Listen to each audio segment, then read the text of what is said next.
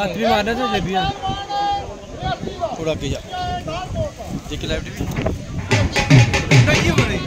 पकड़ा रहे मेरा